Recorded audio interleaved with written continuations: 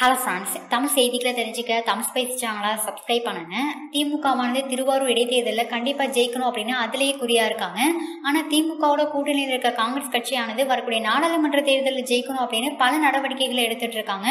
அதில் ஒரு பகுதியாக தான் காங்கிரஸ் கட்சியை சேர்ந்த விஜயசாந்தி சிறையில் இருக்க சசிகலாவை போய் மீட் பண்ணியிருக்காங்க. இந்த விஷயம் அரசியல் வட்டாரத்தில் மிகப்பெரிய பரபரப்பை ஏற்படுத்தியிருக்கு.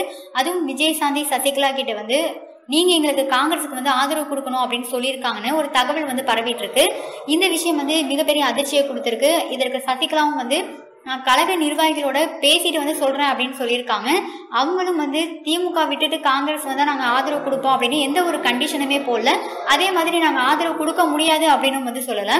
இதே விஷயம் வந்து தினகரனுக்கே தெரிஞ்சாலும் கண்டிப்பா வந்து சசிகலாவுக்கும் தினகரனுக்கும் இடையே கருத்து வேறுபாடுகள் தான் வரும். தினகனை பொறுத்த வரைக்கும் காங்கிரஸ் வந்து திமுக கட்சியை விட்டு வெளியில வந்தாதான் வந்து கூட்டணி வைக்க முடியும். திமுகவோட இருக்கும்போது அவங்களுக்கு சப்போர்ட் பண்ண முடியாது அப்படின்ற மனநிலையில தான் இருக்காங்க.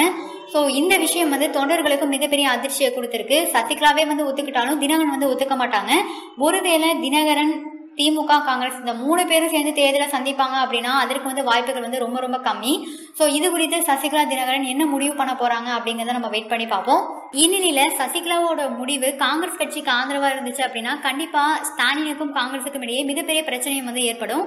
ஸோ என்ன நடக்க போகுது அப்படிங்கிறத நம்ம வெயிட் பண்ணி பார்ப்போம். இந்த வீடியோ உங்களுக்கு பிடிச்சிருந்தா லைக் பண்ணுங்க ஷேர் பண்ணுங்க.